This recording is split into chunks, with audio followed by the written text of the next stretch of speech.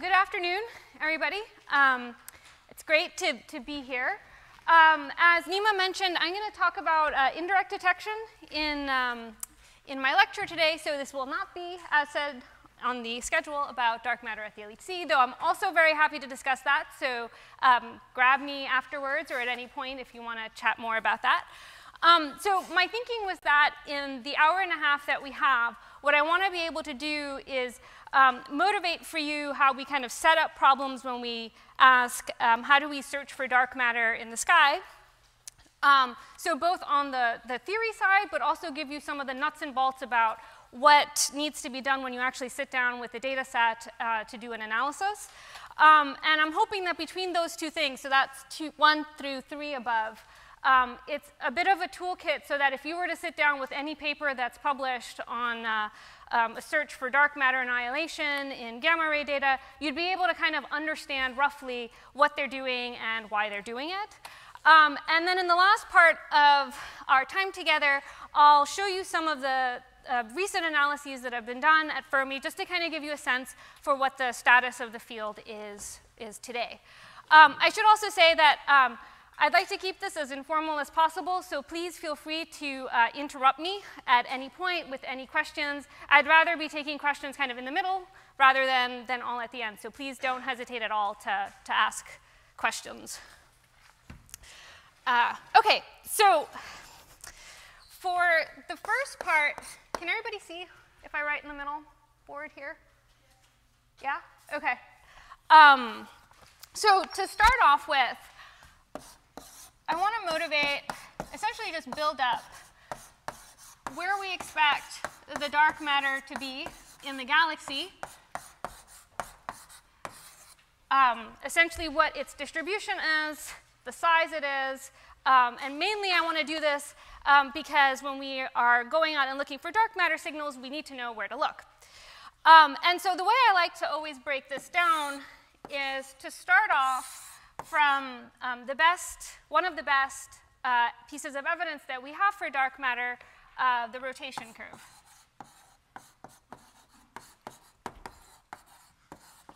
And so what we're going to do is start off with the rotation curve as, um, as the basic and essentially build up from there to describe uh, what the distribution of dark matter is in the Milky Way or, or really any galaxy.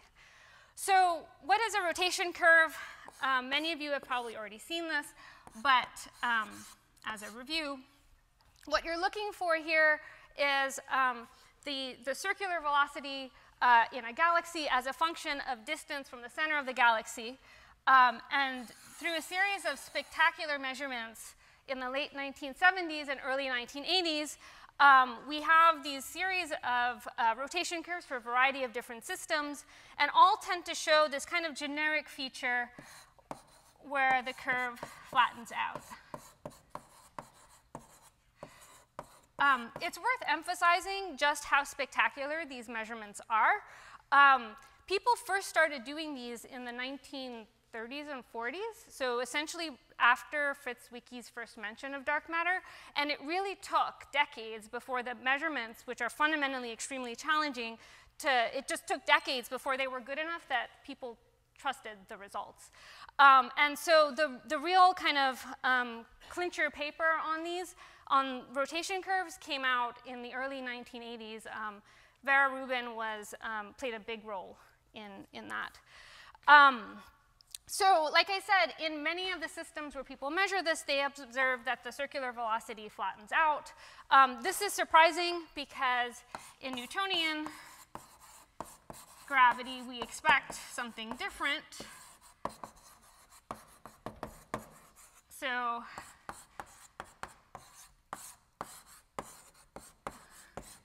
we expect that the circular velocity should go as 1 over square root of r, right? So that would mean that this should have fallen off um, with distance rather than flattened out. So um, there's you know, two ways that uh, people have tried explaining this. One is with modifications to Newtonian gravity. Um, I'm not going to focus on that today because that carries the additional challenge of not being able to explain the cosmic microwave background. Um, what I will focus on is the particle dark matter interpretation, which is to say, well, maybe there's a lot more mass in these systems than um, were otherwise uh, than we can actually see. Um, and so we posit that there's some additional dark matter in addition to the baryonic matter. So if we run with that assumption, then we can start actually making some statements about what the distribution of dark matter um, should be, given the fact that the rotation curve flattens out. So um, if we want the circular velocity to be constant, that means that the mass has to scale with radius um, at these large distances. And if we were to then take, look at uh, the, um, the mass density, then that's just m over r over r cubed. So we get that the mass density goes as 1 over r squared. Um, there's an implicit assumption that I've made in this. Um, I don't know if you caught it while I was making it, but um, I have assumed at this point here, when I write down this density distribution, that the dark matter is distributed um, spherically uh, and isotropically. Um, so if I were to sketch this out, I've made the assumption that my dark matter forms this diffuse uh, halo that's extended, and that's in, in sharp contrast to the dark matter disk, uh, which is just uh, flat, right, just a plane. Um, the reason I can make that assumption is because I say, well, um, baryons interact with each other, they dissipate energy, so that makes them collapse to form a disk. Whereas I'm making the assumption that the dark matter is um, not interacting strongly with itself. And so as a result, it does not lose energy through frictional forces, and so it does not collapse to form a disk like the baryons, and instead um, remains in this extended halo-like system. So um, if I combine those assumptions, then the fact that the, the dark matter halo doesn't collapse on itself with the flatness of the rotation curves, I would estimate that the density of the halo goes as uh, 1 over r squared. Um, I should add the caveat that uh, there's a lot of really interesting models uh, that people have been writing down and considering recently where the dark matter does actually interact with itself some small amount. Um, and in these scenarios, you can actually get the dark, a small subcomponent of the dark matter to collapse and form um, something like the baryonic disk. Um, I, won't, I won't talk too much about those scenarios now, but I thought I would just mention it because they're, they're quite interesting. All right. okay. This is like a very large blackboard. All right. Um, good. So uh, once we start off with uh, that assumption about the density distribution for the halo, we can do some estimates to see how, just how large uh, the halo of the Milky Way should be. So how extended is that halo relative to the, the disk? Um, and so in order to, uh, to do that, we need to use um, a few pieces of information that we have from observation. And so the first is that um, we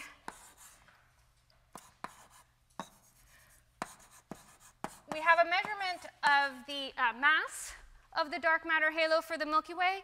Um, that's coming from um, stellar kinematics, um, and that is roughly 10 to the 12 solar masses. So this symbol here, capital M with this little subscript O dot, uh, means uh, masses of the sun. Um, the other piece of information that we need is that the local dark matter density, so this meaning by local, I mean the dark matter density um, in the region around the sun. So this is roughly 0.3 Um, big caveats on both of these numbers. There's a lot of uncertainties on this.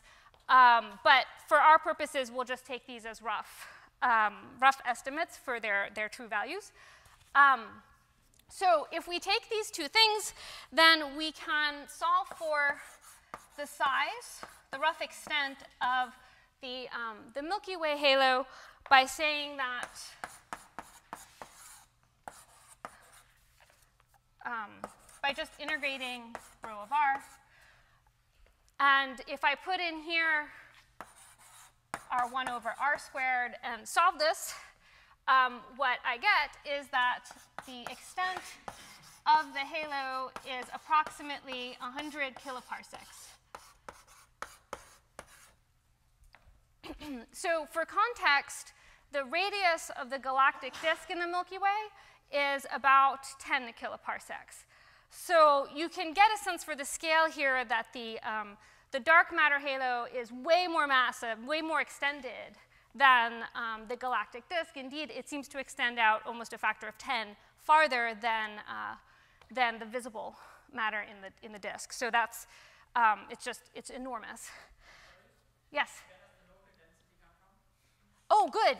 Um, yeah, so the, the local density um, comes from measurements of the vertical velocities of stars in, um, in the region around the sun. So um, if this is the galactic plane and the sun is here, um, what people do is they look at stars in the plane and measure their velocity in and out of the plane. Um, and so that velocity is going to depend on um, the, the amount of dark matter that's, in, uh, that's nearby the sun. Now, this is actually, now this is tangential, but I think very interesting. Um, this is the number that's mostly quoted. There's about a factor of two uncertainty on this. Um, however, all of these are essentially derived in the same way, where you're looking for the vertical velocity for these stars. Um, all of this uh, makes the assumption that uh, the system is in equilibrium. Um, and we actually don't know that for sure. Um, indeed, the, the Large Magellanic Cloud and the Small Magellanic Cloud are in the process of merging with our galaxy, um, and they're, they're starting to get pretty close. And their tidal effects are already causing ripples in the galactic disk. Um, and those ripples break the assumption of equilibrium. Um, and so uh, I, I, think there's a lot more uncertainty on this value than what's actually uh, typically quoted because the factor of two uncertainties that you usually see are coming from just um, from all calculations that are assuming equilibrium, but we don't even know for sure that that's, that that's actually the case. Yes?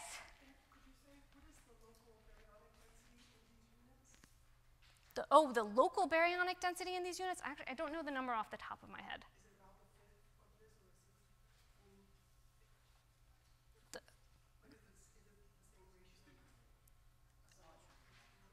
Uh, locally, uh, probably, I think so. I mean, I don't want to. I don't want to like say a number that it turns out to be wrong because I mean, it, it would probably depend a lot on what's going on specifically in the neighborhood of the sun, and I'm not entirely certain, so I don't want to like uh, quote a number that I think would be right on average, but it actually might be incorrect locally. So, for example, one thing that like we don't really know for sure, especially given this issue here is whether or not we happen to live in a void. Because um, it could be that, like, you know, the dark, we, there's this ginormous dark matter halo surrounding our galaxy, but that really in the location of the sun, um, the, the average dark matter density might be smaller than what we might expect. And so based on these studies where people look at the vertical velocity of the stars, we don't think that's the case because we get values that look like this. But if this equilibrium assumption breaks down, then um, then we actually just don't know. Yeah? So if the assumption breaks down to like what uh, effects are we talking about, like an order of magnitude or like more? Do you have any idea about that? I mean, could we be, could, is it possible that our direct detection constraints are just all off for this reason, for example? Well, so direct detection constraints are usually quoted as a function. So it's usually quoted like cross-section times local density, so everything would kind of scale. But it could be that if we, you know, if this breaks down, um, and um, this is much less than what we'd expect it to be. It could be that there's no reason we should expect direct detection experiments to be seeing anything. At all? Yeah. Yeah, I mean, if we happen to be living in a local void, there's no dark matter flying through the Earth, and so we should never expect to be able to detect it directly.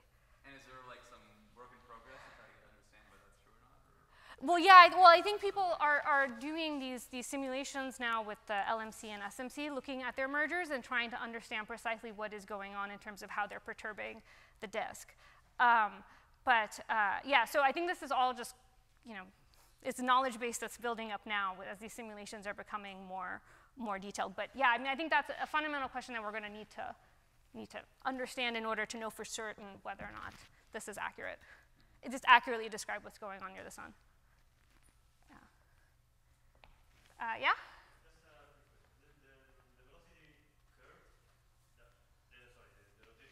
Yeah.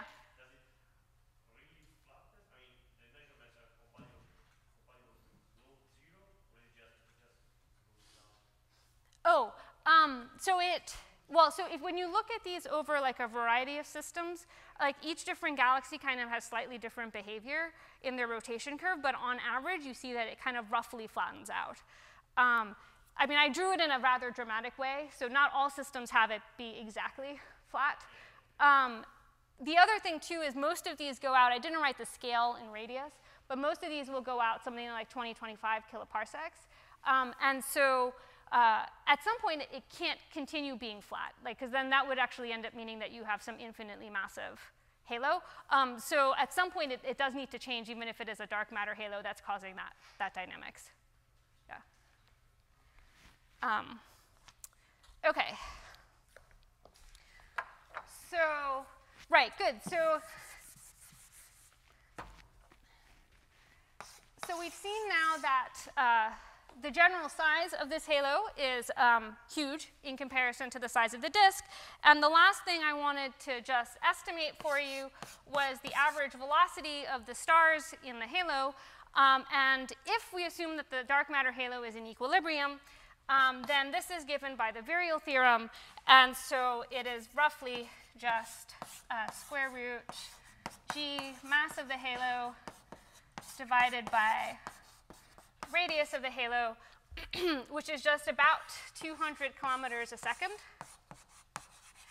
So the key here, and this is going to come into play in some of the things we're going to discuss later, is that on average we expect that the dark matter in the halo is non-relativistic. Um, and that leads to some interesting phenomenology. Um, there are certain signatures that would arise specifically because the dark matter is moving um, fairly slowly. Uh, okay. Now, I, I, did these estimates in this way just because I think they're pretty illustrative and they give you a sense of the scales that we're talking about here, um, both the size scale of the halo and also the speed. Um, but like I already mentioned, there's a lot of assumptions that have gone into this. So, um,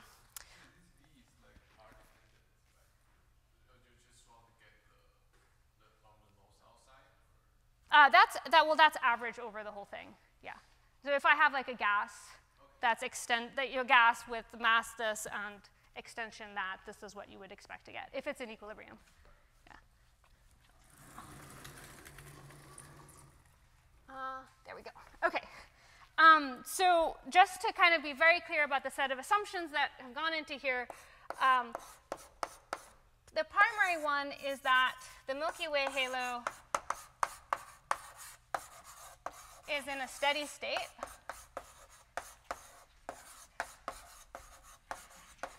And so what I mean here is that it's not actually changing a lot. It's, it's in equilibrium. Nothing's really perturbed it for a really long time. And it turns out that that's not a terrible approximation to make about our galaxy, because um, the Milky Way tends, is, um, is considered a fairly quiescent galaxy, um, which is just one way of saying that it hasn't had any major mergers with another galaxy in a really long time. So its last major merger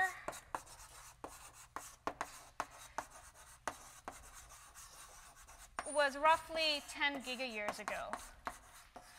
And by major merger, I mean a galaxy that comes in, hits the Milky Way, and it's so massive that it completely perturbs the disk and just kind of messes everything up.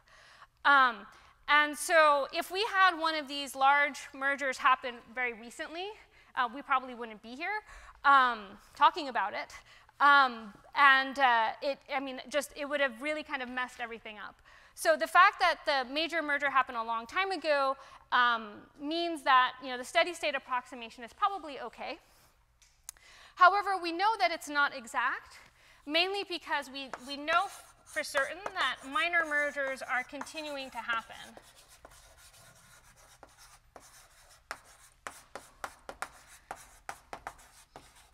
So we can actually see um, galaxies that are in the process of merging with our own. Um, Sagittarius is one really nice example because we can actually see the orbital path that it's taking as it's falling in um, to the Milky Way because it leaves behind like a bunch of tidal debris as it's falling in. So um, we're, we're actually see, it's like a photographic snapshot of this thing as it's getting eaten up by the Milky Way. So we know that these smaller galaxies are continuing to merge with ours, and so when they do, they, they perturb the system in a small way, but they do change things like the phase space uh, for the dark matter distribution.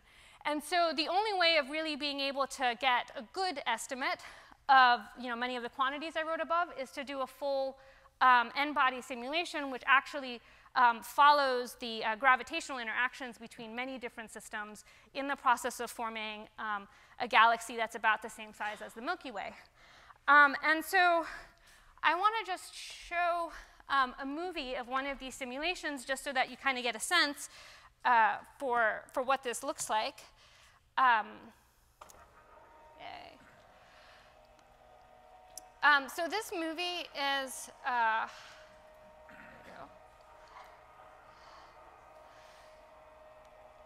is from a, an n-body simulate, one of the highest resolution n-body simulations. Um, it's called Via Lactea. I guess I'll wait until this thing moves down since it's kind of loud.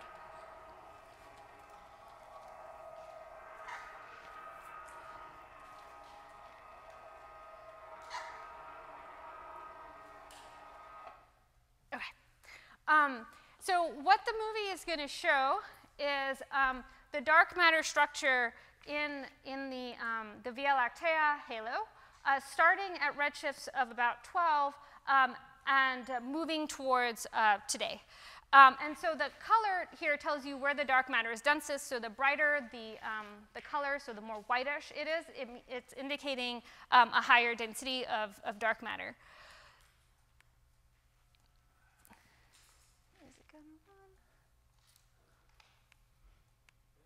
There it goes. Um, so you can see very clearly that the dark matter is forming a lot of little clumps. Um, and some of the clumps are actually aligned along these filaments. Um, but they're all kind of getting driven in and, and merging um, towards the central point. So you can see a lot of these clumps kind of coming in and swinging around and then um, uh, kind of orbiting around until they get completely disrupted. Um, and as these clumps are getting disrupted, they're, like the dark matter that they shed just becomes part of uh, the Milky Way uh, as a whole. And so at the end of the day, the halo that Via Lactea sees, um, this is like if we had dark matter, special dark matter glasses, um, this is what it looks like. Uh, and there's two aspects of this that are quite remarkable. One is uh, um, all of the incredible amount of structure that you see there. So um, you know, there's a lot of these very bright clumps that are just kind of floating around there um, amongst this kind of background distribution of, of dark matter that's, that's visible. Um, and we get a lot of information from simulations like this, so we can uh, recover, for example, the, um, the dark matter density profiles that we get out of simulations that track all of these gravitational interactions between um, these dark matter particles. Yeah? Sorry? Oh, the bright spots are uh, subhalos, so they're like clumps of dark matter. uh, yeah, so the, the bright spots here are clumps of dark matter. So you see that some are kind of bigger than others, and it's just because there's like a distribution of sizes that you expect. The big clump in the middle is just the center of the galaxy. So the center of the galaxy is really bright, um, and, uh, and then that falls off, but you still end up getting these bright spots that are kind of orbiting and merging with, with the galaxy. Yeah?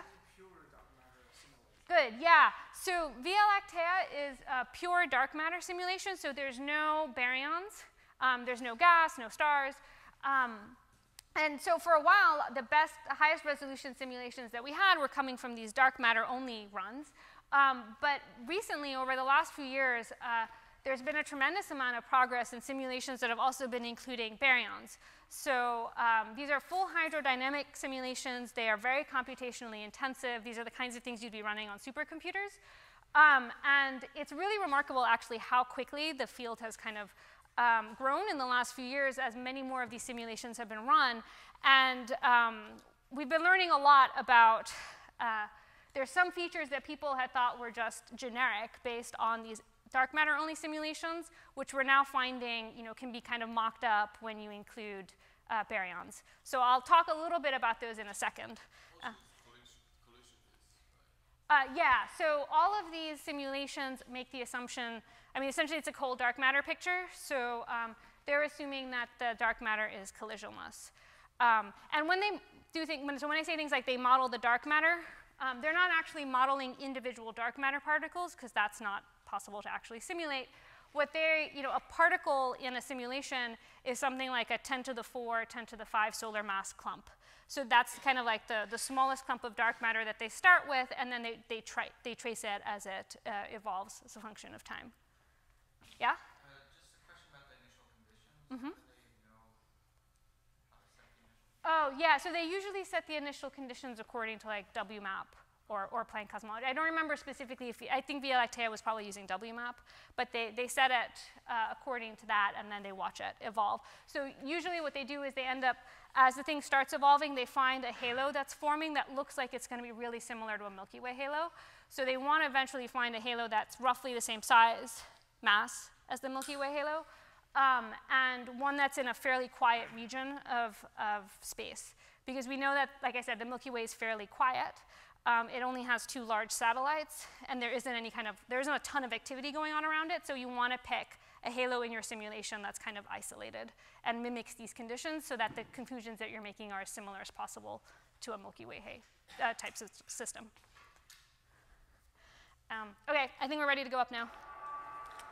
Okay.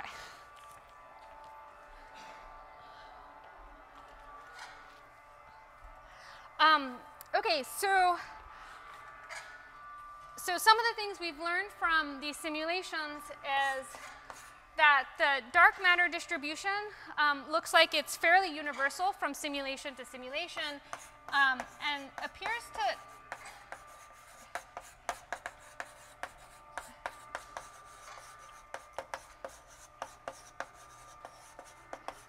to follow um, what's called the Navarro-Frenk-White profile or NFW profile.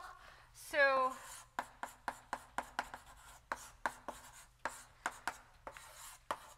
um, this is essentially just a double, double falling power law.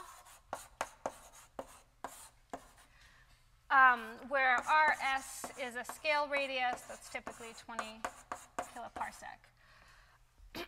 so uh, one thing that you can see is that in the limit where r is on the order or greater than rs, the Navarro-Frenk-White profile goes as 1 over r squared, which is just what we got using our very simple estimate up above.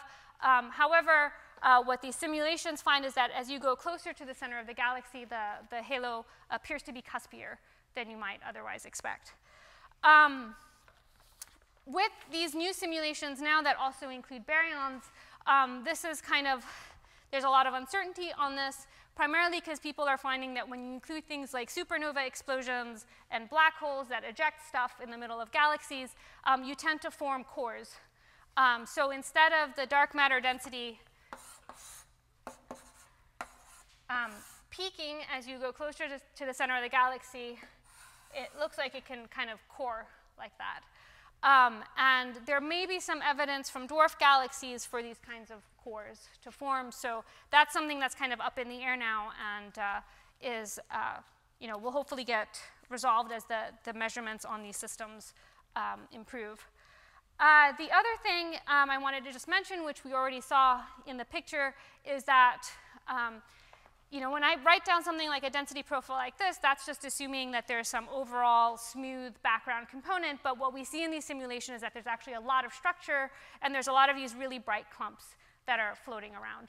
Um, and so each of those bright clumps can provide an opportunity for uh, searching for dark matter. Uh, the or RS. Um, uh, no, it'll, it'll, depend on the, it'll depend on the system.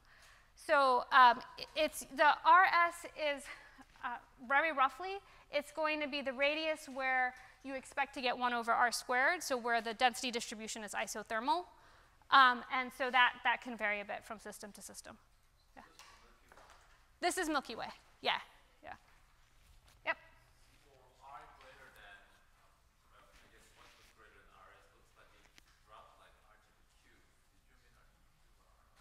Oh, what I meant was the case where um, this term here is dominating over this term.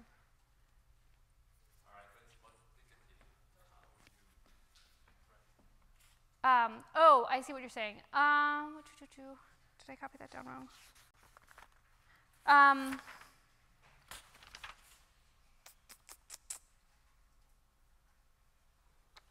oh, uh, yeah, sorry. No, thank you. I was being a bit sloppy with my words. What I meant was, um, um, let me draw it out. That way I'm very explicit about it. Thank you. Okay.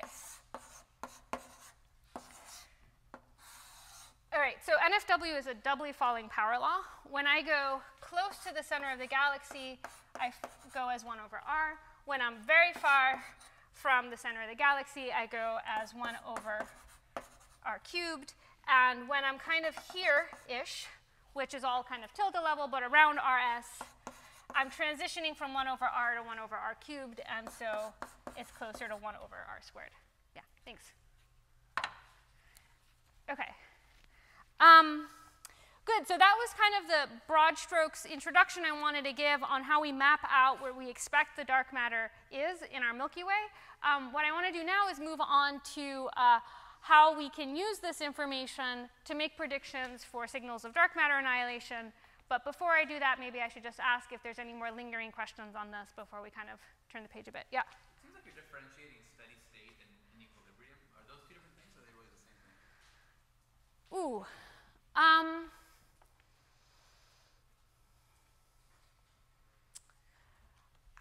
so I've been using it as if they're both roughly the same thing. So that once a system is in steady state, it's not being perturbed, and so it's had enough time to come into equilibrium. Um, I guess presumably, mm, I mean, maybe somebody can might be able to say the system is in steady state in the sense that it hasn't gotten hit recently, it hasn't gotten hit now, but it, um, not in equilibrium because the system hasn't had a chance to fully recover from a hit that happened not too long ago. Um, yeah, I mean, when, so when I use it, I'm using it kind of interchangeably. Okay. Yeah. Yeah?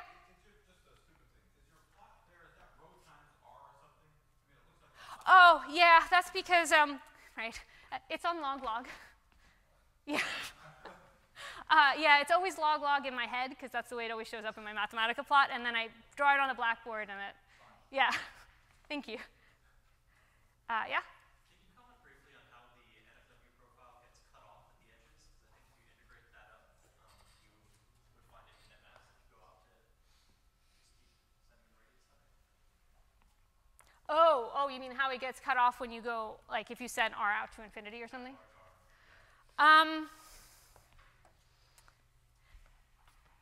I don't know if there's anything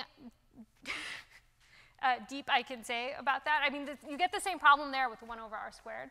It's not regulated. Um,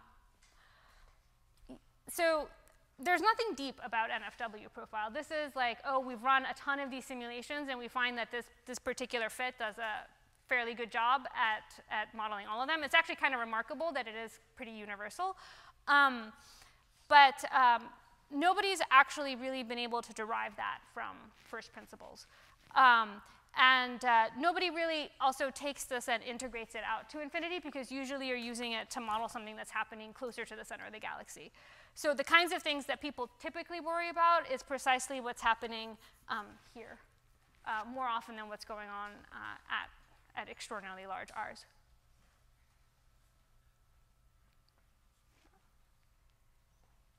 Okay, cool.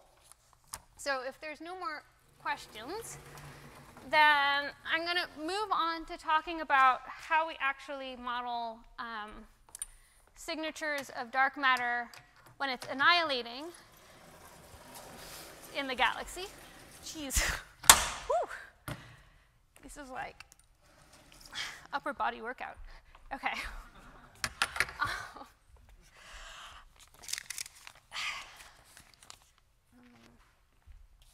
So from what we've seen so far, uh, we can conclude that the dark matter is going to be densest in the center part of a galaxy.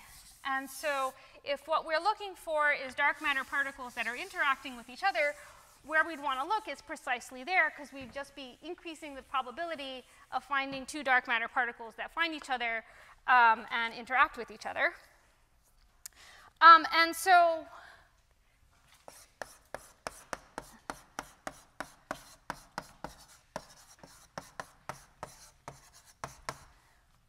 Um, so the kinds of things we're going to be interested in here is the scenarios where we have two dark matter particles that come in via some process that I will remain fairly agnostic about, um, and then annihilate two uh, states um, that I'll label as being just standard model states. Um, and so what I'm going to do first is just uh, calculate what, derive what the um, annihilation rate would be for this kind of uh, scenario. Um, so the first thing we want is the annihilation rate per particle. And this is going to depend on the cross section for this process happening. Um, and I'm going to write this out as a velocity averaged cross section where this I here um, is going to denote um, the particular annihilation channel. So it can be, for example, that the dark matter can annihilate to a variety of different standard model states, and so each one of those channels would be um, labeled by a different value of i.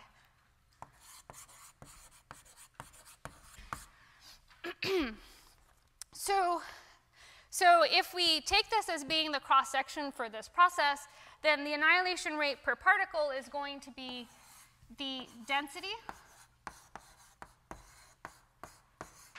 um, of the particle of the dark matter divided by its mass. So this is just another way of writing down the number density.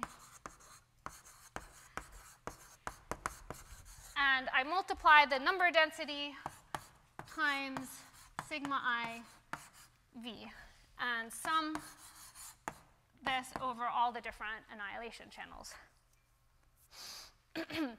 now, I tried to write this out um, very clearly here. So um, let me just kind of draw schematically what's going on. So in the case, for example, where we're interested in annihilation at the center of our galaxy, um, the, the, geometry of this is as follows. Um, we're here at the sun. This is the center of the galaxy. And let's assume that there's some annihilation event happening here. Um, what's going into this is we want to know the dark matter density here, a distance r from the center of the galaxy. Um, and that r is actually going to be a function of the line of sight distance L, which is the distance from the sun to the actual annihilation event, um, and uh, this angle psi that's in, in here. So um, we can write out r as a function of line of sight distance and angle psi, um, and then figure out what the density of the dark matter is at that, at that point. Um, good, so this is just using the sort of standard uh, rate formula. Um, and uh, we're nearly there, except for the fact that what we need to do now is to get the total annihilation rate, we need to multiply this by the total number of particles that are there.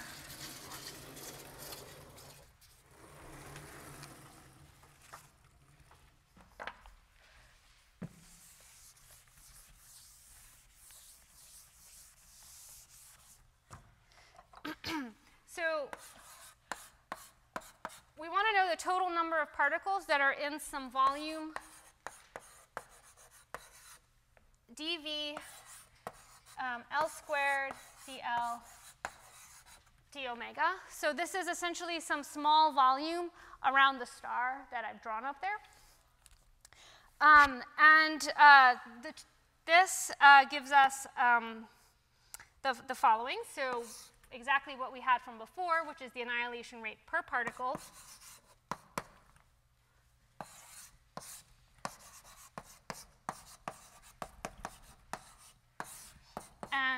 Multiply this by the total number of particles in this volume. So that's going to be density divided by mass. That's the number density. Um, times the volume, dV. And we divide this by a factor of 2 um, because we're considering, um, you know, you need two particles for every annihilation event.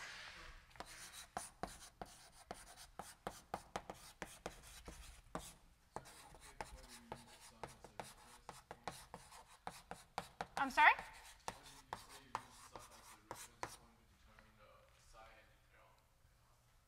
Uh, the, hold on, hold on. Oh, you got it. Okay, good. Uh, okay. Uh, doo, doo, doo. All right, so so now we've taken the annihilation rate per particle, multiplied it by the total number of particles, dark matter particles in the volume that can annihilate with each other. Um, and the last step is, uh, so this is annihilation, this is total annihilation rate.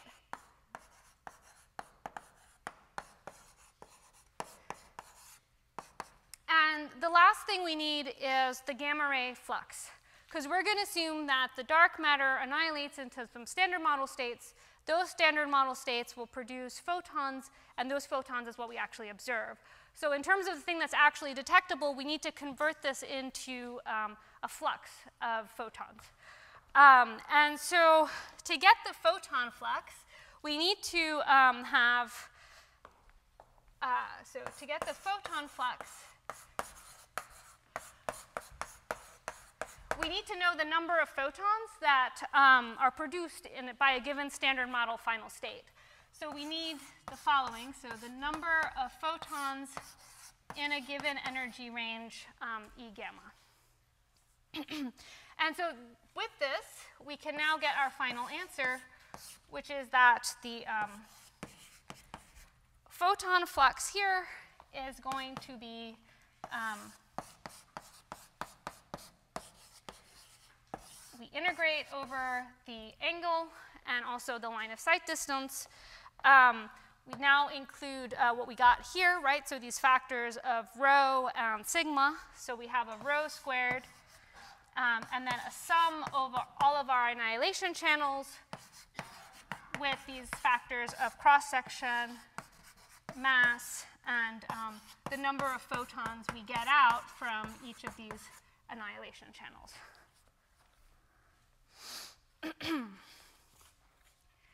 um, so this is the final, uh, final answer. And if you were to pick up any paper that had to deal with, uh, you know, indirect detection, that's always just kind of quoted as fact, but now you've kind of seen how, where it comes from.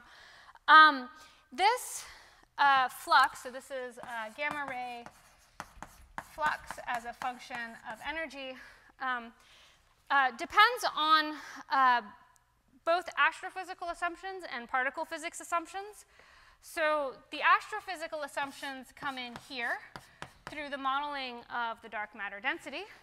And the particle physics assumptions come in here um, through uh, our assumption about what the cross section is for the annihilation and the photons that we expect to get from each of the different annihilation events. Um, so let me first give you a sense for what these numbers look like for the case, uh, for the uh, astrophysical part of this. Hmm.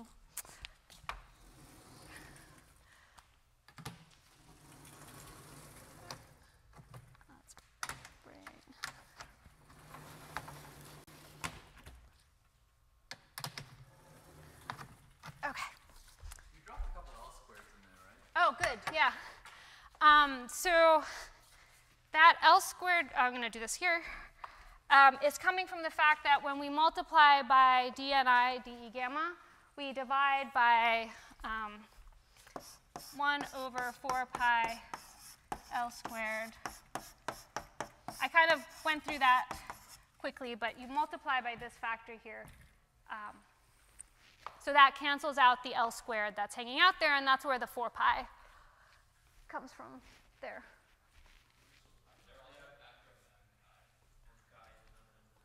Sorry? Oh, thank you. Yeah, there is. Oh. uh, okay. Good. Did I get them all? Um, 104 by d omega. Okay, I think that's I think that's everything.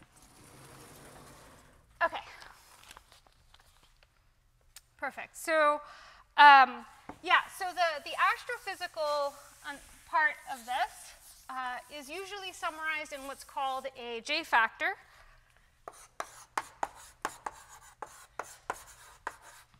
Um, which is just the part that's the integral over the, um, the density squared. So this is, just to be very explicit,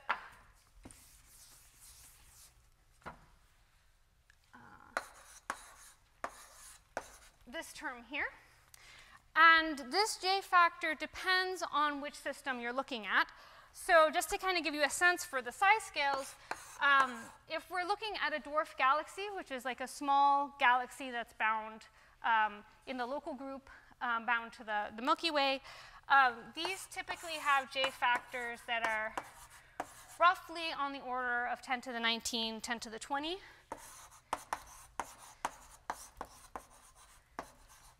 These are dwarfs. Um, and I, I, think these numbers are making the assumption that the dark matter density is uh, NFW distributed. Um, if we look at the largest satellite of the Milky Way, which is Andromeda, then the J factor is 10 to the 20.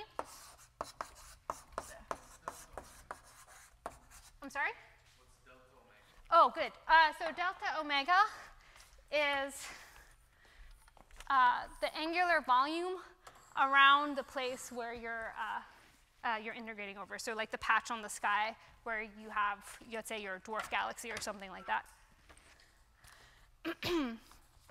um, so this is Andromeda. And if we look, um, the J factor for our own galaxy, so the center part of the Milky Way, is essentially is way larger than any of these other ones, 22 to 25 um, per centimeter squared. This is within um, 0.1 degree of the center of the Milky Way. so if somebody were to ask you, you know, where should I look to maximize my uh, probability of seeing a dark matter signal, you would, you know, look at these list of J factors and say, oh, well, clearly you're going to get the greatest enhancement if you look at the center of our own galaxy, because that's where the density is the highest by far. Um, and that would be correct if we lived in a perfect world where we didn't have to worry about things like backgrounds and uh, regular sort of astronomical kinds of sources of gamma rays. Um, so typically what happens when you're trying to find like the best systems to look for dark matter annihilation, you have to weigh both the um, J factor that you get with just how clean the system is. So as it turns out, the Milky Way, our own galaxy, is one of the brightest spots of dark matter, but it's really messy. So there's a black hole that's there, there's a lot of gas. We expect to get a lot of gamma rays just from cosmic rays um, being ejected by all of these different sources. And dwarf galaxy, even though their J factor is several orders of magnitude weaker, um, end up being much cleaner systems because they're dark matter dominated and they don't have a lot of gas. Um, so when actually implementing a lot of this, um, you can't just look at the J factor. You have to also take into account um, the system itself that you're analyzing and how much contamination from standard sources you expect to get for these systems. Um, okay. Yeah? So the dwarf galaxies are also modeled by Um, profile? so for this estimate, um, I think that's what I used to get these. I got these numbers a little while ago. Um, but that's actually up for debate. So there's some studies now that have been looking at um, the, the motions of, of, whatever few stars we can actually see inside a dwarf galaxy to see if the, the, the density profile is cored um, or cuspy, where cuspy would be more NFW-like. And the results are kind of mixed and a little bit confusing. So some studies do find that there's evidence for cores in these dwarfs, but the error bars are still quite large. So we don't know definitively whether or not all of these systems have cores, um, or some fraction of them have cores and the rest are cuspy. It's, it's a matter of, of a lot of debate right now whether or not we expect cored versus cuspy. Um, and even if a dwarf galaxy is, let's say, cored, it doesn't necessarily mean that our galaxy would be cored. Because when you have systems on different scales, there's different processes and different feedback mechanisms in the center part. Um, and so uh, that could just change um, what you would expect to get. And the tail shape also falls off kind of similar? The, uh, what do you mean, the tail shape? Well, it, it also drops by like one over r squared. Uh, yeah, but so usually you're not, um, uh, when you make, when you do a calculation for, let's say, the dark matter flux, you're dominated by far with what's going, by, by what's going on really close to the center, and you're really not that sensitive to the assumptions of what's going on far away. So you could probably redo, I've never done this myself, but you could probably just redo this calculation, changing like the outer slope of NFW, and I bet you're, you wouldn't get it different. You just wouldn't really be too sensitive. There isn't enough dark matter there to really make a difference. Um, it's really whatever's going on in the core uh, in the center part of the galaxy. Uh, okay. Um, good. So this is the astrophysical part that's feeding in there. And then, of course, there's also the particle physics part, which um, has to do with the, uh, that factor of DND, DNDE gamma, which is the number of photons that you expect to get um, from the showering of the standard model states, and then also the cross section, the annihilation cross section. Um, I will just kind of model some of these things out schematically so you kind of have an idea of what this looks like. Um, but let's first consider the case where I have a dark matter, two dark matter particle, particles that annihilate um, to give me one photon and some other thing, where that other thing can be a photon, a Z boson, a Higgs, or some other neutral state in your favorite BSM um, scenario. Um, and if I just work out the kinematics for this, uh, I find that the energy of the photon that's coming out is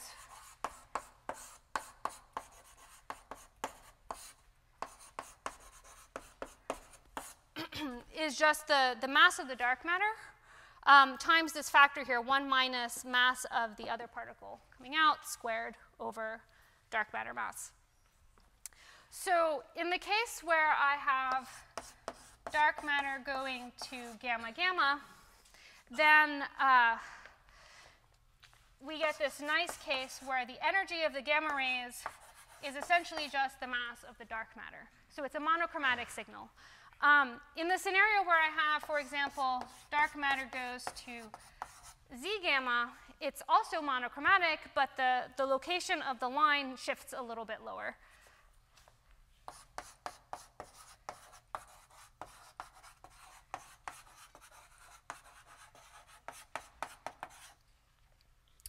Uh.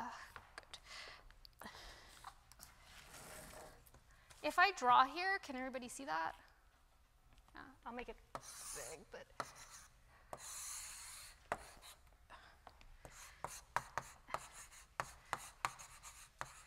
So if I want to make a plot of um, the x-axis here is energy of the photon divided by the mass of the dark matter.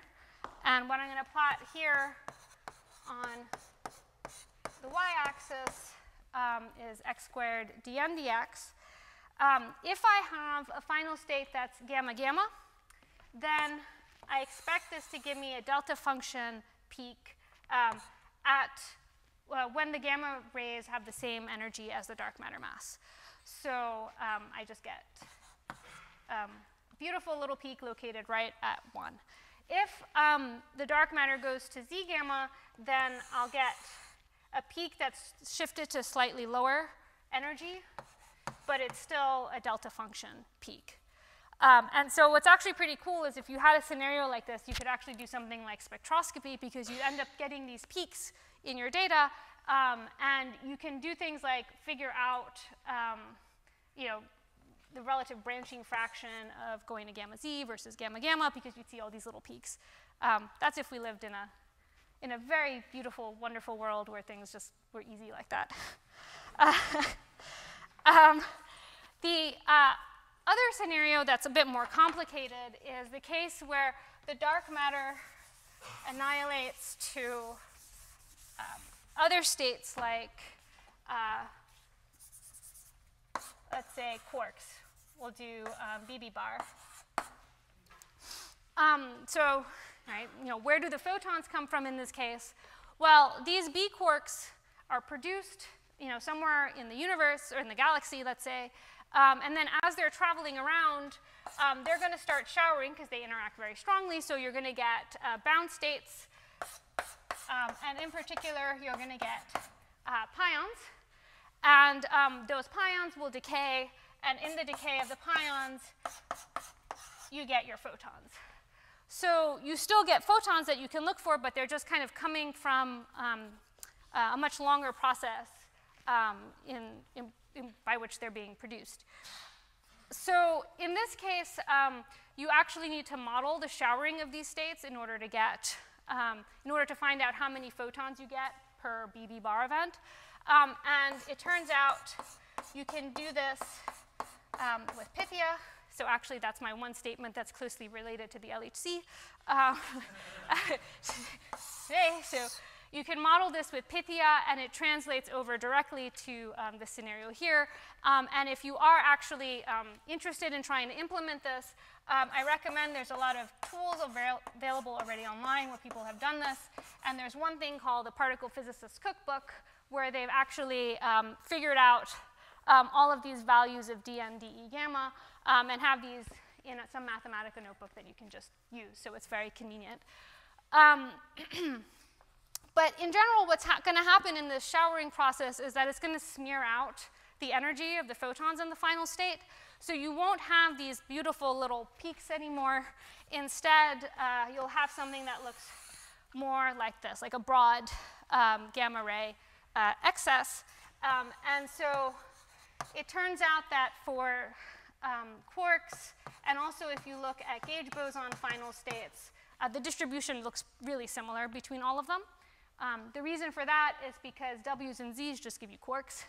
Um, and so uh, at the end, it just looks like as if you had just produced quarks.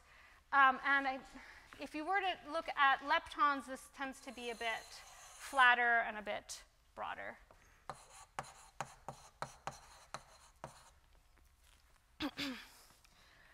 so um, I drew this here just so that you kind of get a sense for, depending on your, your model of choice and the um, annihilation um, states for the dark matter, the actual observable signal that you'd get can vary a lot. Um, nominally, these peaks should be easier to see than if you went to quarks, um, but um, in many different scenarios, many different models, these processes tend to be loop suppressed, and so they're much rarer than these ones. So typically the flux is much larger for final states that, let's say, are going to, to quarks. Um, so uh, you tend to get more of this. It tends to be a little harder to see because the energies of the photons are spread out. Yeah?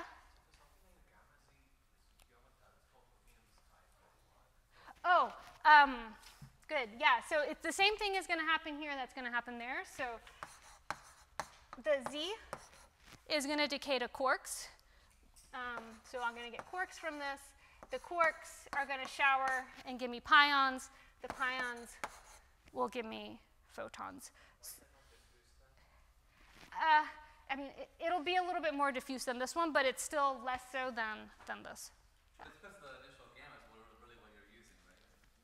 yeah, yeah, that's right. Yeah, yeah. So yeah, you, you, gain a lot from the fact that this one here isn't perturbed in some sense. It's still fairly clean. Uh, okay. Um.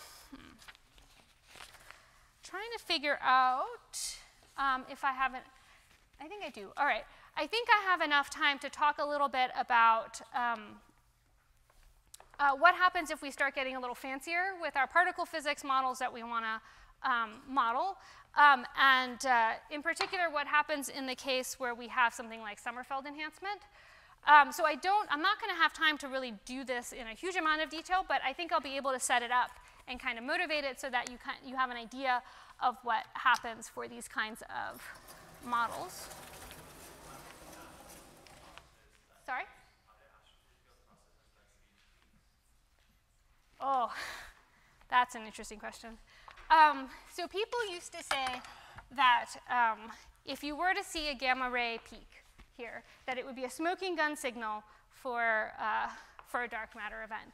Then, about three or four years ago, people saw a gamma ray peak um, and got very excited because they were like, oh my God, this is a smoking gun signal. It has to be dark matter. And it looked very compelling when you looked at it by eye. Um, turns out uh, it wasn't dark matter. The significance of the peak ended up decreasing as a function of time. I don't think we really know exactly what it was. Probably was something like some systematic effect in the detector system. Um, and uh, so the long, yeah, that was a bit of a, a long-winded way of answering your question, which is that um, I don't think there's, there's no specific astrophysical system that you, where you'd expect to get these kinds of peaks, which is why people called it smoking gun. Um, however, as we've learned from previous experiences with this thing, it turns out that it's not quite a smoking gun as we might have wished it could be because you can have other things like detector effects that end up, you know, mimicking these kinds of signals. So uh, yeah, so it, it's challenging either, it, it, it's always challenging. You always have to be very careful whenever you see something to, to understand whether or not it's a real signal or something that's faking it. But um, sort of at first glance, there isn't any obvious astrophysical signal that would give you these peaks. Yeah. Um, are there any other questions on this before I kind of move on to Sommerfeld? Enhancement? No? Okay. Um, Okay, so I thought it would be fun to kind of just show you a little bit about what happens in scenarios where um, you end up with more complicated um, annihilations for the dark matter. And by more complicated, what I mean is uh, where you get things like the dark matter can interact uh, with itself through, through additional forces. Yeah?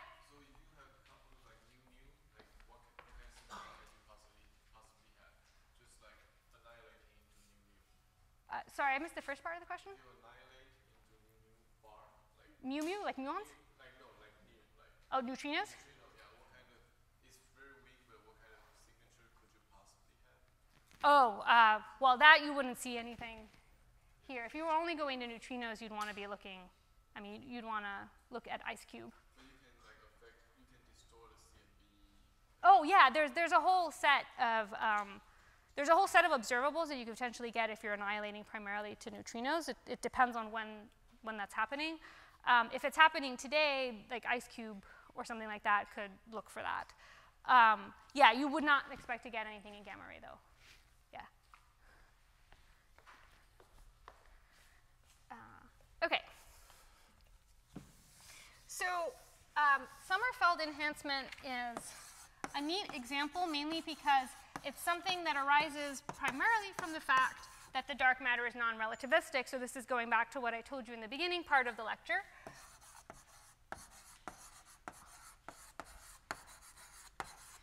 So here's an example of interesting phenomenology that occurs precisely because the dark matter is moving around uh, slowly in, in the galaxy. Um, so the general picture is going to be as follows. We can consider the case where we have um, a hard annihilation event, which is similar to essentially everything I've been describing so far. So in this case, I have um, my two dark matter particles come in, interact, um, and give me my standard model final states.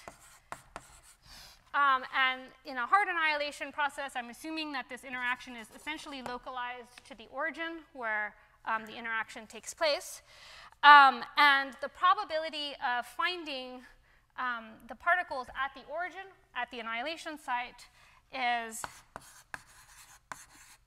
just going to be proportional to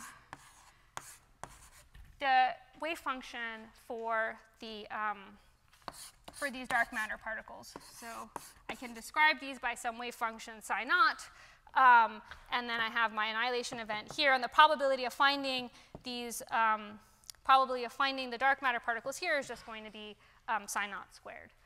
Um, in contrast, if I have um, some case where the dark matter can interact with itself, then um, the picture is going to look different.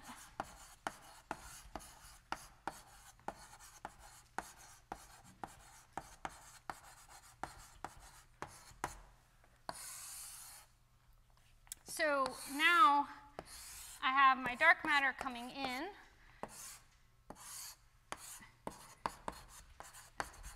Here's my interaction site again. That's my origin. But in the process, um, it exchanges some new particle phi. so in the presence of these um, phi's that are being exchanged between the external legs, the incoming wave function is going to be different. Um, and so in this case, my incoming wave function, I'm going to model as just regular, um, regular psi. So this is probability psi naught at the origin squared. Um, and now my wave function is without the little not subscript. And the probability of finding this dark matter at the annihilation site is going to be psi at the origin squared. so the presence of this self-interaction changes the wave function, um, and so the probability of um, observing an interaction event here is going to be different than it is um, for this case here. Um, and we quantify these differences by uh, an enhancement factor, S, um, that is just the ratio of the wave function in this case uh, over the probability of the in the hard annihilation case.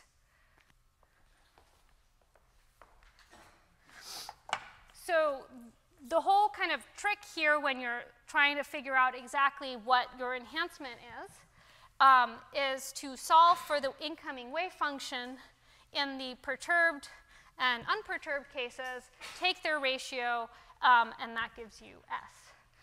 Um, now, this is a really hard thing to do if your system is relativistic, but because the dark matter particles are non-relativistic, you can actually just solve for psi by using the regular Schrodinger equation. Um, so that simplifies the calculation by quite a bit. Um, I'm not going to work that out in detail, mainly because uh, it, it's a bit, I don't know, I don't think it would be terribly illustrative up on the blackboard. Um, but what I will do is kind of outline what happens for a very simple case. Um, so you get an idea for, uh, for what's, what implications this has for experiments. so I'm going to consider the case where there's some interacting potential um, that's just a Yukawa potential. Um, so this is what we'd expect to get for the case of a boson. That's a boson phi that's mediating between these different states.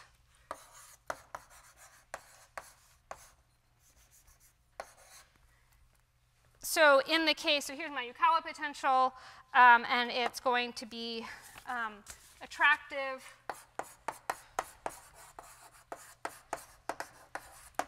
when alpha is less than zero and repulsive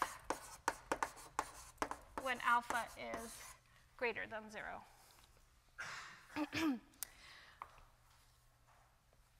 um, so let's do a limiting case of uh, the Yukawa potential, which is um, the scenario where m phi is zero, so massless. So I've got the exchange of some massless boson um, and in this case, this is just the Coulomb potential. and uh, if you were to actually go through the whole exercise of setting up your Schrodinger equation with the Coulomb potential in it, solving for the wave functions, taking this ratio, it's all doable. I'm not going to do it up on the board myself. But you end up getting the following.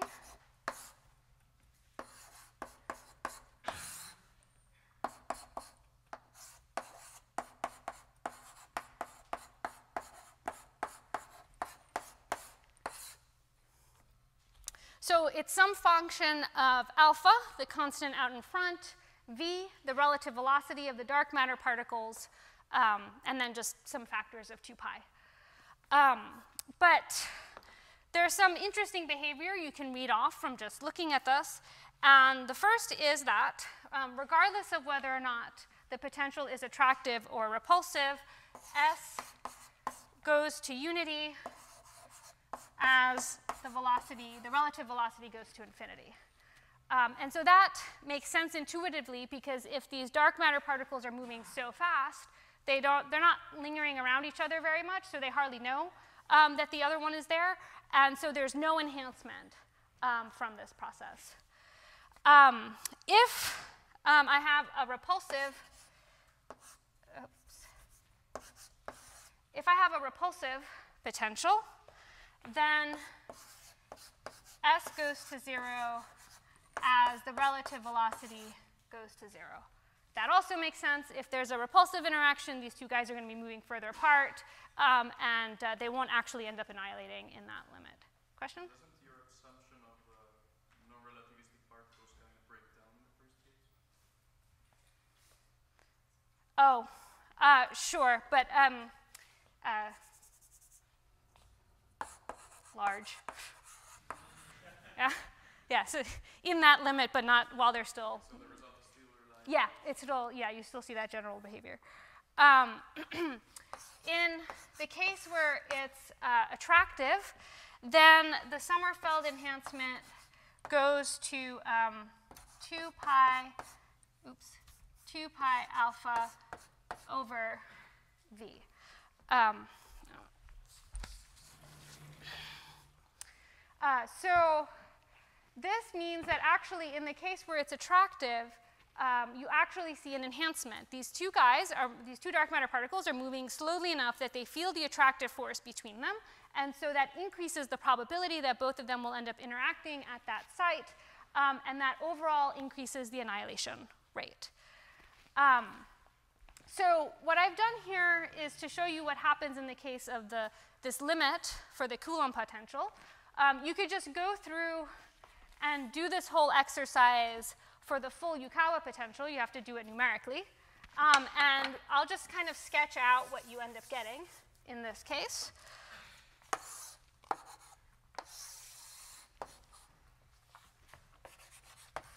So this is going to be as a function of dark matter mass, and this is the Sommerfeld enhancement. Um, so for a Yukawa potential, and I'm going to be a little sloppy by not labeling, well, I'll label some of the axes. So this is a TeV, let's say that's 10 to the 4 GeV and 10 to the 5 GeV. So we're talking about very heavy dark matter. Um, so the Sommerfeld enhancement here, the first line I've drawn is the case where the relative velocity is 10 to the minus 1. Um, if I decrease the velocity um, for an attractive, we're only gonna, I'm only going to sketch this out for an attractive. So I have an attractive Yukawa potential. If I decrease this velocity, should I expect that the Sommerfeld enhancement grows or gets smaller? Holler it.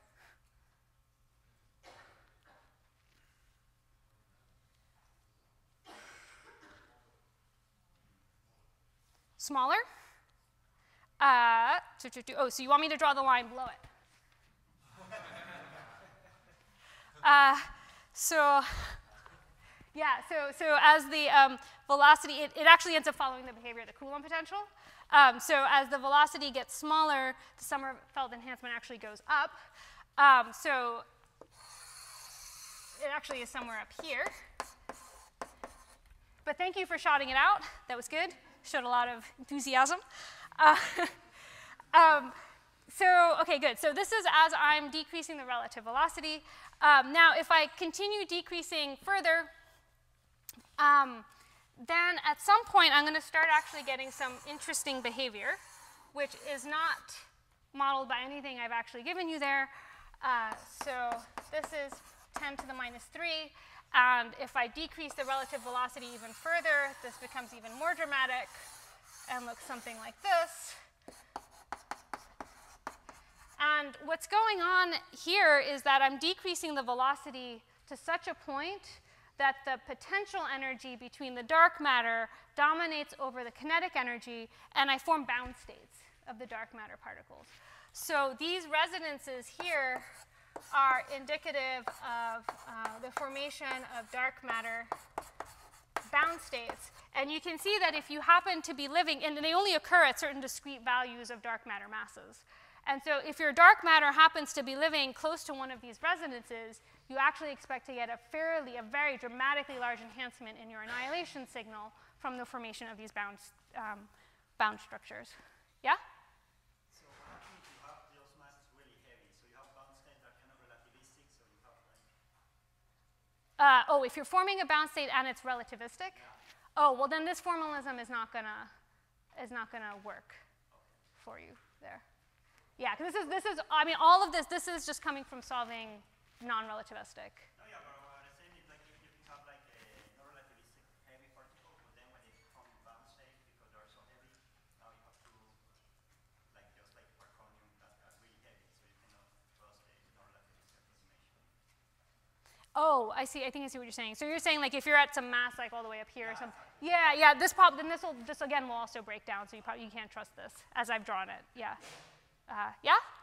So earlier, uh, you made a comment that average dark matter velocity is about 200 kilometers per second. Yeah. Is there a reason to believe that we can form this which requires V3? Oh.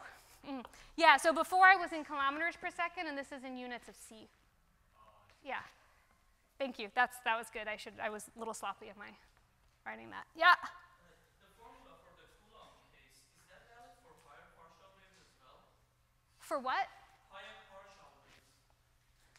For higher partial waves. Um, sorry, I don't understand what you're. So, I, I mean, the Sommerfeld enhancement we were talking about, that, that's, that makes sense for S wave. Oh, yeah, oh, yeah, good. Yeah, this is assuming L equals zero. Yeah, no, so it'll be different if you go, but th th this is coming from the fact that for this scenario, you expect to be dominated by, by this. Yeah, so one could actually go through and, um, I'm not going to do this up on the board, but you can actually go through and write out this formalism um, generically for any, uh, for any L. V?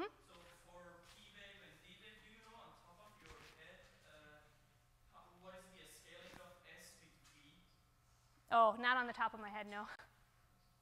Yeah. Uh, yeah? So the peaks are corresponding to the bound state mass. Yeah. Is that right? So it could also become continuous in the higher you have more con- continuous spectrum. Oh, you mean the relative uh, distances between these?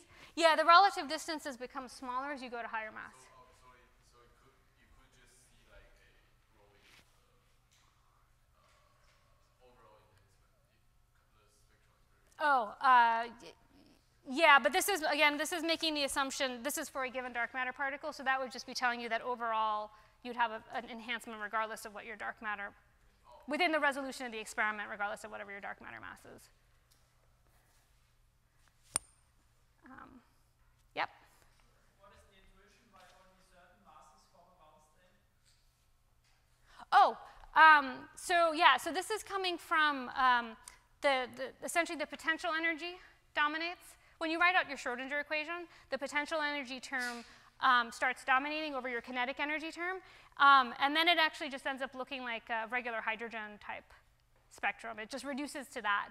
Um, and uh, the, actually, it's really kind of fun, like if you do this out, um, I don't have time to do it here, but the ratios between the peaks is precisely, it's, it's uh, I think it's 1 to 4 to 9. It's, ex it's exactly what you'd expect from doing the hydrogen case, which is fun. Um, okay. Oh, another question, yeah. What regulates? Oh, oh, right, right, like here? Um, mm-mm. Uh, that's a good question. Um, I don't know if I have the, a good answer for you right off the top of my head, but we, we can discuss after. Yep. The cross section is bounded above by the unitarity bound. Ah, good. Yes, that makes sense.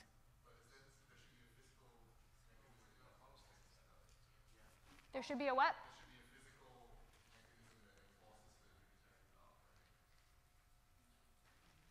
Process that.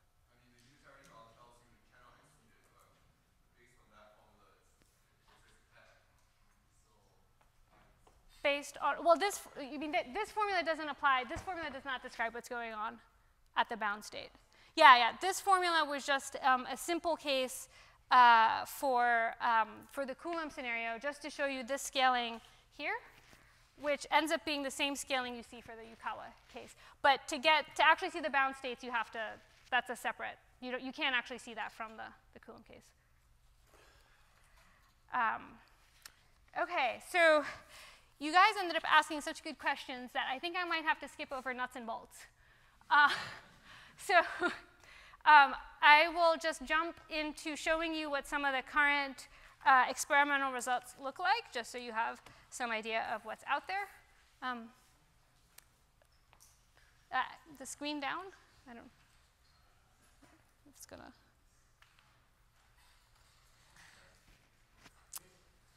Uh, is it- yeah. Okay. Cool. Oh, nuts and bolts. I was going to describe a little bit about the kinds of um, backgrounds, astrophysical backgrounds that are relevant, and also how you set up your likelihood for doing an actual analysis, which I'm happy to chat about afterwards if, if you have any questions. I just want to make sure I finish close to, close to time.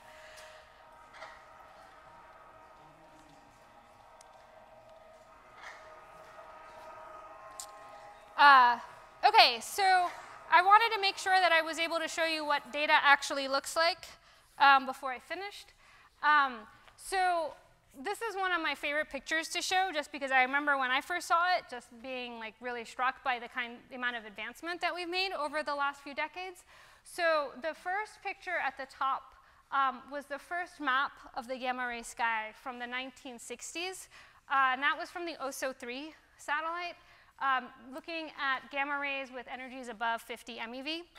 Um, and I, I, think that must have been drawn by hand. Um, and so not shown are a bunch of other things that happened in the meantime, but then an EGRET in the 1990s uh, looked at gamma rays from 30 MeV to 30 GeV, and um, that was their all-sky map. Um, and this is what we have to work with now, um, coming from the Fermi Large Area Telescope. So it's covering a much wider range of energies, and you can see that the amount of structure you can actually make out on the sky is much more detailed.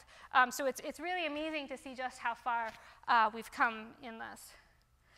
Um, so this is just a blown up version of that Fermi sky map, labeling um, different uh, contributions, mainly coming from, uh, these are just kind of standard uh, sources.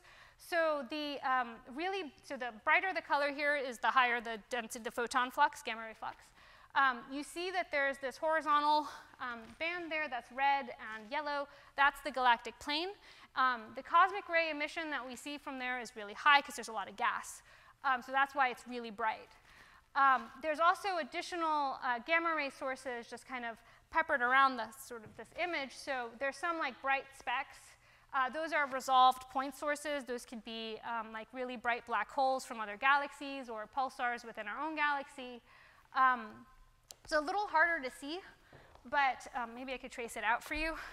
So these were just discovered fairly recently, but there's these bubbles near the center part of the galaxy. You can kind of make them out because you see this kind of curved part here, and then also this curved part down there.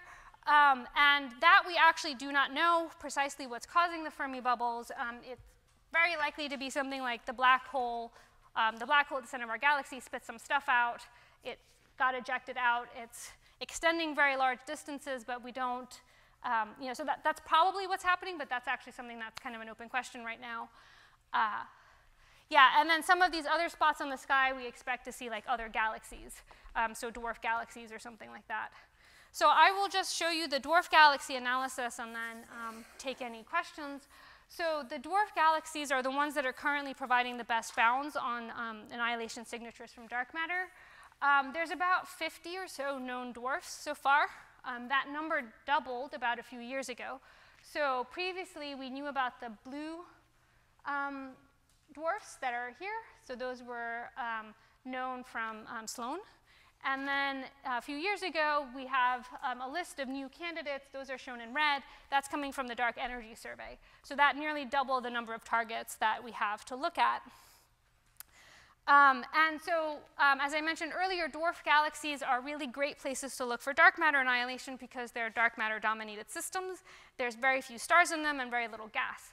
So um, you pretty much just take uh, you know, you know what location on the sky you expect to see your dwarf. You look at where that patch is in the Fermi data, and you look to see how many photons are there and whether or not it's consistent with there being some additional annihilation from dark matter.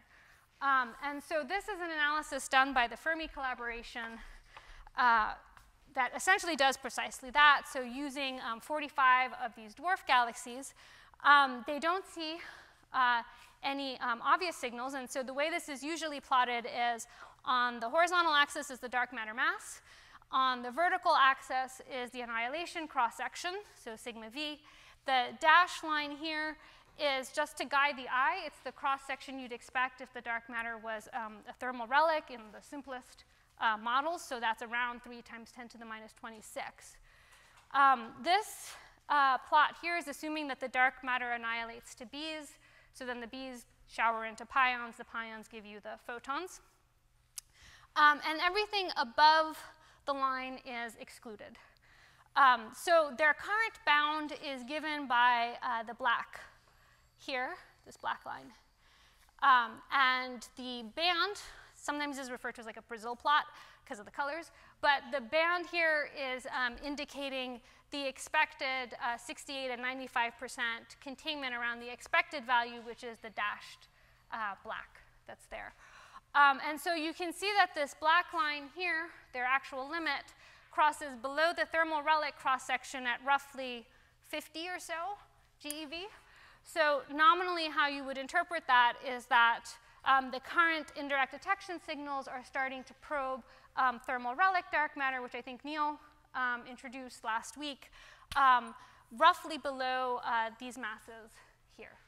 Uh, and um, what's labeled here, these little specks, are anomalies from uh, the center of our galaxy, um, which are uh, in tension with the current bounds from these dwarf analyses. Um, now, people expect that the number of dwarf galaxies is going to increase um, beyond just the 50 or so that have been observed so far. So every time that we find a new dwarf galaxy, it essentially gives us a potentially new target to look for dark matter annihilation. Um, and really what we need is just one really good one that happens to be in a really clean region of the sky and that's not too far away.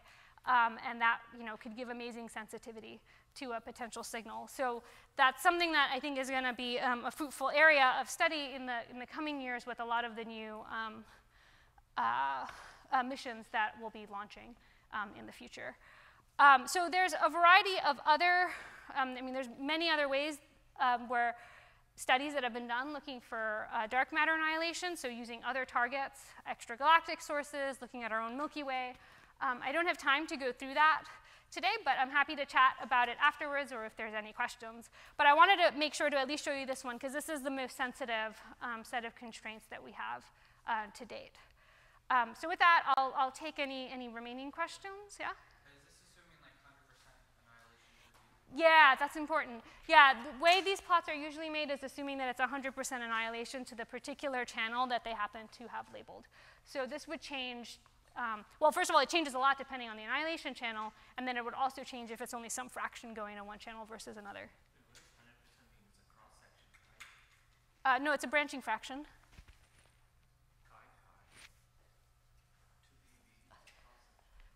Uh, it's a cross section, but you're, you're assuming that 100% um, of the time the dark matter is going into B quarks.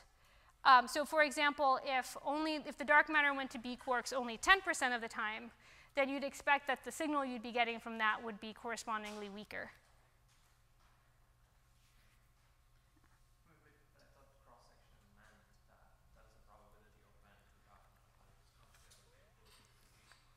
Uh, yeah, but that's, so that's making the assumption that all of the photons that you see are coming from BB bar. Yeah, yeah. So if it was only some small fraction, then um, your, your limit on the cross section would be correspondingly weaker. Um, yeah? What's the lowest mass that can be chromed of the board? So it's what jump what's shown in the plot is that the lowest we can't. Oh, yeah. So this is because um, uh, you need enough energy to actually produce the B quarks. Um, but if you looked at different annihilation channels, so let's say going to electrons or muons, um, you can actually go to lower masses because the Fermi data um, extends down to like 200, 300 MeV. So the, you do have data that goes down to much lower energies. caveat is um, the quality of the data gets, um, is not, it's, it's harder to work with just because the point spread function starts getting really large when you go down to those low energies, and so it just becomes, it, it becomes correspondingly harder to do an analysis. Yeah?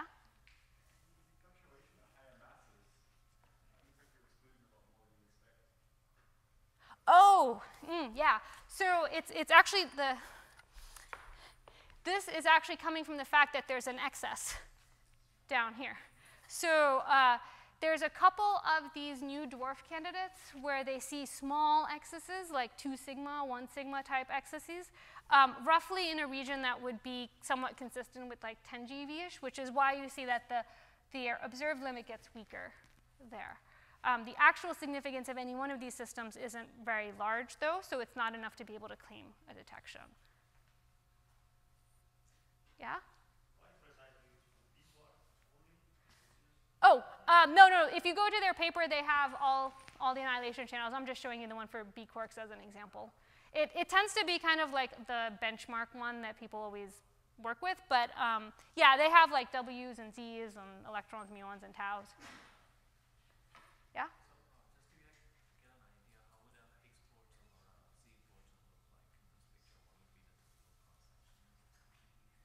The Higgs portal or a Z portal? Uh, so you're imagining like the dark matter annihilating to b's through a Higgs or something like that? Yeah, it doesn't, it doesn't matter actually what the, I mean, yeah, it doesn't. Uh, the couplings that would be allowed would change, right? Because then that would, this is a function of what those couplings are, so the allowed couplings would vary, but um, this is essentially independent to whatever is going on in the blob.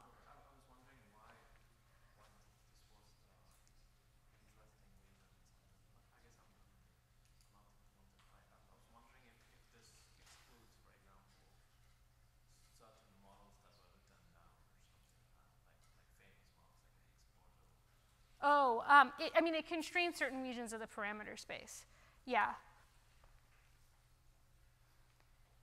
Um, is there is there a obvious reason why the scaling doesn't go like m squared?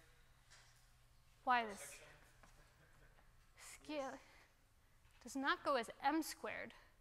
Like, I mean, I Oh, you mean like the direct detection plots? No, I imagine that the cross section would go like one over m squared for a very heavy dark dark right? Mm-hmm. Then the larger dark matter is the smaller the cross section, you can uh, exclude less and less. Mm-hmm. Why is it that? That it doesn't scale as. For the thermal line, you know? I guess I'm still a little bit confused about what the question is. You, you're saying that this is going up, but the thermal relic is the same as the wind, right? So Yeah. this is sort of like thermal relic. Thermal relic, the, the sigma v required for thermal relic is almost it's like a constant. Right. Yeah, it's stated. Oh, Uh, yeah, maybe is, is your question? I mean, this band here, this is coming from like the data sensitivity. right. Yeah. I think you're just asking, you're saying that the, uh, that the annihilation cross-section scales like the number density squared, so it should scale like one over mass squared. And he was just wondering why that line doesn't seem to be going like the mass squared. But I think you have to fold in the, uh, the, the, the sensitivity of, uh, Fermi photons to different entities. Yeah, there's a lot of things that are kind of feeding into that sensitivity bound, so it's a little bit harder to kind of disentangle the simple relationship. Yeah.